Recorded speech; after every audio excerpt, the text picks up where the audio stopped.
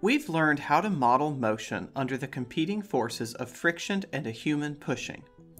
In the real world, these forces don't directly compete as they're applied in different directions. Suppose you're pulling a sled across the snow. There are four forces acting on the sled. First is the force you pull with, usually directed at an angle upward along the rope you use to pull the sled. Second is the sled's weight, pulling downward. Third is the normal force of the ground pushing upward on the sled.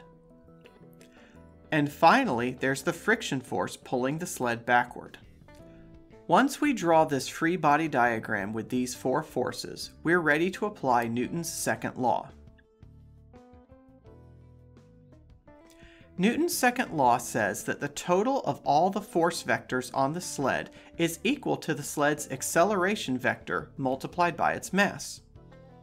Since these forces act in the x and y directions, we'll need to apply Newton's second law once in the x direction and once in the y direction.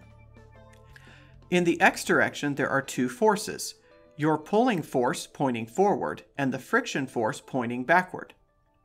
Since we're only looking at forces in the x direction, we need to include only the x component of your pulling force. To get this x component, we multiply the magnitude of your pulling force by the cosine of the angle that the rope makes with the ground.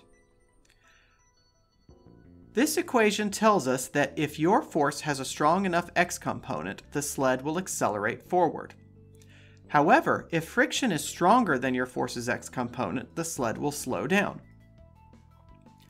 There's also the third case, where your force's x component exactly cancels friction and the sled moves at constant velocity. This is how most people usually pull a sled, as humans can't accelerate forever. Next, we need to look at the forces in the y direction. This time, there are three forces for us to look at. We have the normal force pointing upward and the weight pointing downward, but we also have the y component of your pulling force. To get this y component, we multiply the magnitude of your pulling force by the sine of the angle the rope makes with the ground. Now, when we're pulling a sled across the ground, we don't expect it to move vertically up or down, so we can plug in 0 for the y component of the sled's acceleration. Doing so allows us to solve this equation for the normal force. Remember how last time I said that the normal force isn't always equal to the weight? There are some cases in which the normal force is not the same as the weight. Well, here's a prime example of when the normal force is not equal to the weight. The normal force equals the weight minus the vertical component of your pulling force. This equation for the normal force is helpful since we can use it to determine the force of friction.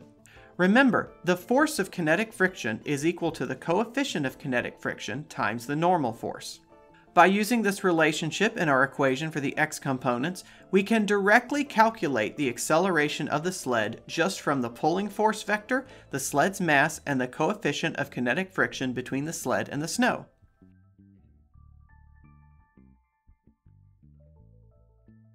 Here, we implement the x and y components of the pulling force. Let's start with a pulling force of magnitude 7 and angle 30 degrees. Then we calculate the sled's weight vector pointing down as always. Then we calculate the normal force between the ground and the sled using the difference between the weight vector and the y component of our pulling force. Finally, we calculate the force of friction based on the coefficient of kinetic friction and the magnitude of the normal force. After gathering all these forces, we're ready to add them all together to make the total force vector acting on the cart. As expected, the total force points to the right and our sled accelerates in the forward direction. In this new version of the code, we've added arrows to represent the four forces on the cart just like in our free body diagram. You can see how the two upward forces conspire to cancel the weight, and how the horizontal component of your pulling force overpowers the force of friction. If, on the other hand, we decrease the magnitude of the pulling force, we could end up with friction overpowering the horizontal component of the pulling force, and the sled will slow down. This means that there's some special value of force magnitude that will result in constant velocity motion. Click the link in the description below to find a set of activities that will help you adjust the force magnitude until you find this special value.